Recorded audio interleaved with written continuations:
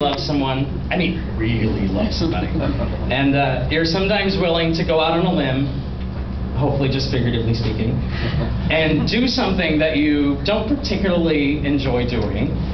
So uh, my, my former partner Ori really loved camping. I've been camping a few times in my my youth, as they say, with my dad, stepmom, stepbrothers, and one time with Boy Scouts.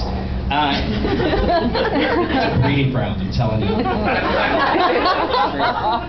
two ex-boyfriends, no joke. Um, and uh, so he promises uh, an air mattress and a nice hike up a beautiful mountain, just some fantastic waterfalls.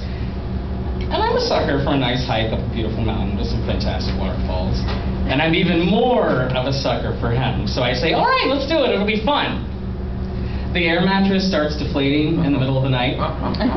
so we fold it in half and we squeeze onto the now very truncated air mattress. and we're feeling the dirt and the rocks and little sticks and whatever else might have been the culprit of this. Well, I mean, we could really call it a supreme tragedy, if you ask me. So this all just really solidifies my utter lack of affection for camping.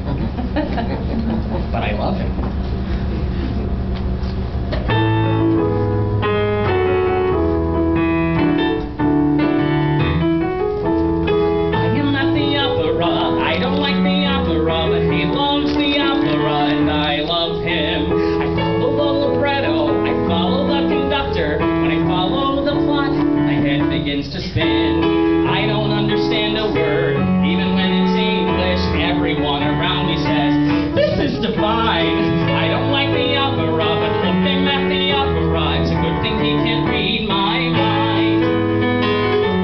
Well, yes, he's a fantastic person, right? Oh, yeah, she's the best tundra I've ever seen in my whole entire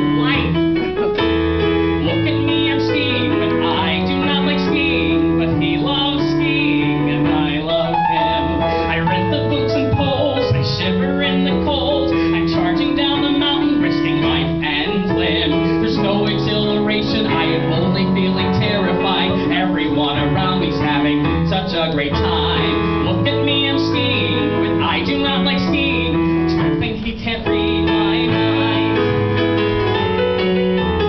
Yeah, accelerating is the word I thinking.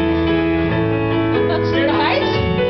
No, not me. Uh, I am not complaining, I'm just making observations. Expanding your horizons is a sign of maturation. Now I tolerate cigars, cause he's a smoker. I'm playing chess.